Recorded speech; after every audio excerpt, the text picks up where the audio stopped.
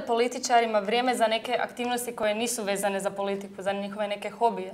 Pa mislim da teško, ali na to pitanje mislim da će nam najbolji odgovor dati naš današnji gost, kojeg i ne treba posebno predstavljati. S nama je danas župan Varaždinske županije, gospodin Radimir Čačić. Dobar vam dan i dobrodošli u našu emisiju. Dobar dan, hvala na pozivu. E, možete li nam ispričati malo kako se vi opuštate nakon napornog radnog dana? Nikako. Nikako. se ne opuštam. to je jedan od problema politike. A naročito ako, ako sudjelujete u izvršnoj vlasti. Ne? Izvršna vlast ima nekako svoje standardno vrijeme. Dakle, počinje u, ne znam, 7, 8, 9, završava, ne znam, 4, 5. Ok, ne? Međutim, onda vam počinje ona politička komponenta, jer kad se dešava politika u smislu nekakve aktivnosti društvene, ne? ona se dešava kad nije radno vrijeme, ne? dakle, mislim, kad će ljudi doći na nekakvu tribinu, na nekakav stranački skup, na nešto. Doći će onda kad nisu na radnom mjestu, ne? Dakle, to je dakle ono, sedam, osam, ne? Da. Subota, nedjelja, ne?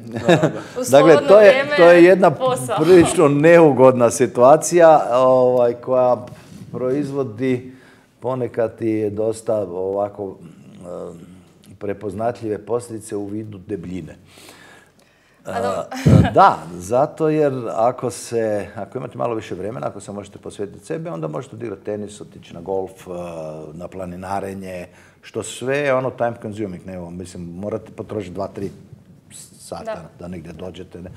A ovdje vi nemate, vi imate rastrgano radno vrijeme, počnete ujutro, dođete na večer, pojedete frižider i idete spavati. Glad radi svoje. A dobro, evo, spomenuli ste golf, čuli, već smo čuli da igrate golf. Da. Kako ste zapravo uopće počeli s tim? I gdje uopće igrate? Sam počeo, a počela je ovoga, u stvari moja žena, ja sam se samo pridružio. počeli smo tako da smo jedno imanje od pradjedova od moje e, supruge, neko je tu Jakopovec, ne, općina Jalžabet, blizu, to je da. deset minuta odavde, ne. Znači nije dva sata.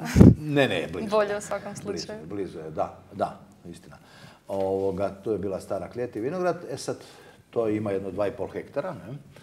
E, odlučili smo da se s vinogradom baviti nećemo, ja? odlučili smo jer ne možemo, nemamo nikad, ni ne znamo ovoga, da ćemo tu rekonstruirati tu klijet i sagraditi nekakvu tamo, recimo neku kuriju, nešto.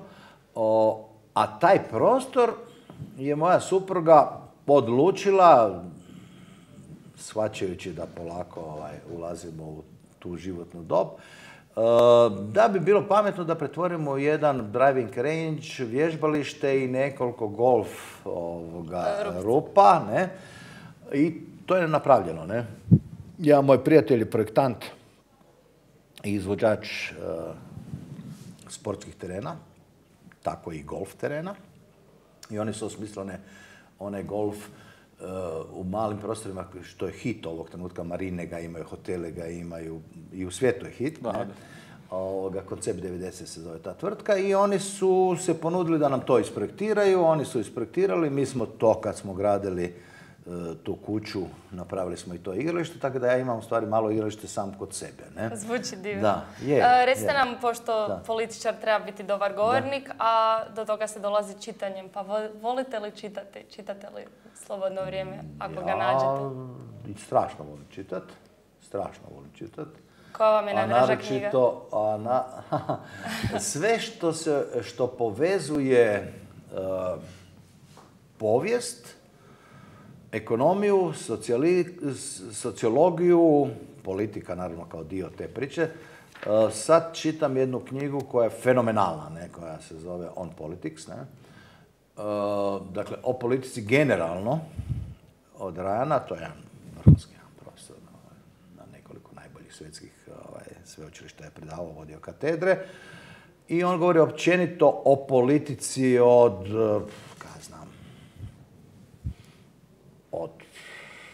vremena Grka, ne, pa do danas. ne, znači, od početaka Da, gdje cijelo životno učenje, sad da vam samo, recimo sad smo ovaj, išli u Vukovar na na komemoraciju naših našim braniteljima. Ne? Mi smo tamo imali najveći broj, osim samih Vukovaraca, najveći broj uopće učesnika u obrani, 1121, dakle ogroman broj iz Varaždinske županije, nešto iz Međimurske, ili policijska uprava bila zajednička. I sad putem sam se prisjetio da postoje dva najpoznatija govora, uopće svjetska, i kada, kad pitate o, o govorništvu, e, i interesantno, oba dva su nad grobovima poginulih u, u, u, obrani domovine. Oba dva. Jedan je uh, Lincolnov uh, u građanskom ratu američkom, a drugi je pred 2500 godina Periklov poginuli Matenjanima. Ne? I sad sam, kak je sad ovaj, taj Google je krasna jedna stvar, ne? Stisnem Periklov govor, jel?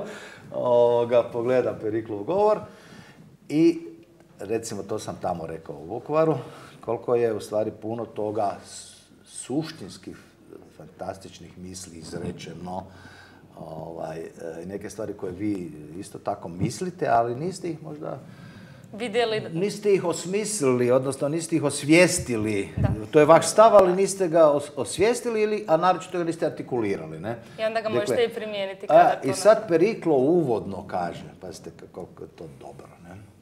Veli, Naravno da treba odavati počast e, mrtvima, palima za domovinu. Ne?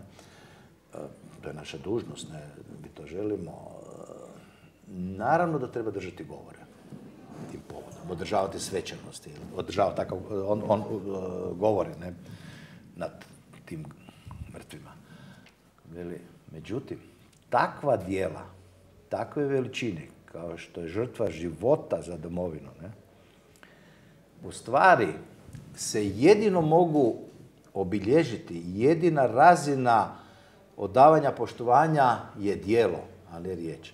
Drugim rečima, ako želimo odati poštovanje mrtvima za domovinu, činimo to dijelima. Dijelima, a ne riječima. Evo, na primjer, mislim da se to najviše očite u današnjim filmovima. Evo, puno filmova je snimljeno i na te teme i na općenito ratove u svijetu. Pa da. Bavite li se vi možda filmom ili što mislite o hrvatskoj kinematografiji što se tih stvari tiče? Da li su možda... Uh, da, ne bavim se filmom, ne, nemam pojma o, svemu tome. To je više naše uže područje, pa, ne, pa ne, pitamo. Ne, ne, ne, ne, ali sad ću reći, da, ovoga, ne, ne znam ništa o tome. Međutim, ja sam po svojoj osnovnoj struci arhitekt. Na arhitekturu, arhitektura je, osim što je naravno tehnička znanost, ne, ona je i likovna. Ne? Umjetnost. Da, ona je i umjetnost. E, imao sam dva semestra e, slikarstva, ne? vrhunskog naš, našeg vjerojatno najvećeg, najjačeg živućeg slikara Vaništa. On je bio moj profesor i Tompa. E, tako da sam dobio neke temelje kompozicije likovnog, ne, pa čak i sam sam čak i neke izložbe, ovoga, radim i akvarel, i crtež, i ulje. Baš sam vas htjela pitati koju tehniku koristite. Da, sve tehnike, ne, ali evo, Koja vam je najdraža? Akvarel. Akvarel, one i najbliže arhitekture, ne, i crtež i akvarel, su. Ali ok, radim i ulje, ne. E sad, naravno da je film je likovna umjetnost, naravno. Srodni su. Molim? Srodni su. Da, vrlo je blisko to, tako da ja imam taj neki osjećaj prema, prema filmu. Biste li glumili u nekom od naših filmova kada bismo vas zamolili? Da, bit će mi zadovoljstvo. Glumio sam ja već u raznim filmovima. To, to je bilo... da, imate jedan cijeli film o padu Varaždinskog e, korpusa, ne? Ovaj, predaj. Onda imate jedan film o o, to su veliki, dugometračni filmovi, ne? Imate film, evo sad se najavila jedna ekipa ovoga, Beogradska koja želi raditi novi film o toj temi. Imate film od Rajka Grlića, jako dobar film. Uh, uh, 2000-ta, ne? Morat će vas malo mi pohvatati. Da, imate odličan, odličan. Koja je bila, tematika je bila promjena, tranzicija, ne, odlazak jedne autoritarna, jednog autoritarnog režima, Tuđmanovog, ne, dolazak neke druge, recimo političke pozicije i opcije. I šta se tu dešava? Tu je Račan, ne znam, Budiša, ja, Nino Jakovčić, Tomčić, ne. Dakle, i on prati te događaje, ta, tu kampanju, snima u autu, snima skupove. Znači vrlo dobar film, da. Vrlo dobar film. Samo da vas pitamo, pošto smo mi sada u srednjoj školi, kakav ste vi bili učenik? Jeste li prepisivali na testovima ili ono samo, Pa ono što sam- znam to je moje? Ako sam ikako mogao. Znači. Znači koji svaki Pa nema nikoga ko to ne radi, ne. ja ne znam ko ne radi, ja, da, da, ja sumnjam da Rijetki postoje. su. Ali ovaj, bio sam apsolutno odličan, a totalni štreber. Ovoga, sve sam imao odličan i nikad u životu nisam pao ispit, ni na faksu. Ne. I, i, i, i da, i diplomirao sam u prvom predroku, prvi na u svojoj generaciji, ali prosjek mi nije bio pet. Prosjek mi je bio negdje 3,6. Dakle, jako brzo sam to završavao. Ne, do- dobro, imao sam odličan iz matematike, imao sam iz ovih nekih koji su meni ovaj, ne, bliski, ne, ali ovaj, da, da, dosta sam, dosta, dosta mi je to dobro išlo i brzo, a, a, razlika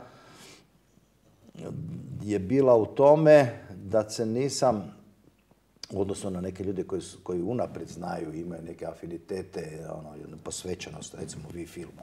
Super. Odlično, krasno, da vi imate neku strast, ne? Ja sam imao vrlo podijeljene strasti, ne? Moje strasti su se kretale između povijesti i matematike, ne? Imam sličan problem, Da, razumijem. da, da, teško je, znate, i još naročito ako vam ide i jedno i drugo. E sad, šta, ne, tak sam otišao na arhitekturu, nešto što je između tehnike i umjetnosti, ne? Da. da.